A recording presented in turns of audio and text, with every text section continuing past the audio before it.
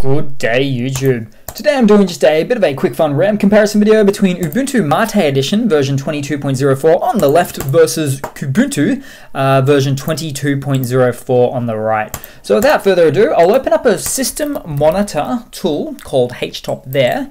Uh, nice lightweight system monitor tool, runs through the terminal, so it doesn't affect the RAM results tests too much, but we are using the same software, so that's great, albeit a terminal software.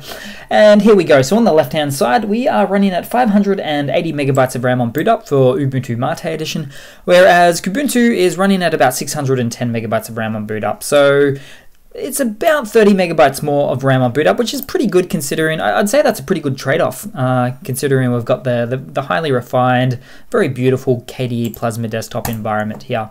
Uh, but always take these videos with a bit of grain of salt. However, they are a fairly good guide, in my opinion, especially if you're looking to use some older hardware there. So, thanks for watching. Please leave a comment, subscribe, hit that like button, and I do hope to see all of you guys there in the next one.